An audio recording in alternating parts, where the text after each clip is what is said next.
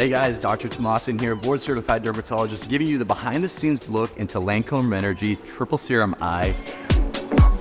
Don't forget, we have to use protection when we're in the lab. Got the coat, got the goggles. What's in here? Ferulic? Gotta put more Ferulic in there? So I'm always trying out new eye serums that people send me, and I love to see what's on the market. What makes the Rénergie Triple Eye Serum so different than the ones I've tried? With this serum, we really want to target the entire eye area. The under eye bags, the wrinkles, crow's feet, also the droopy eyelid, which can be very difficult to target, as Yeah. you know, right?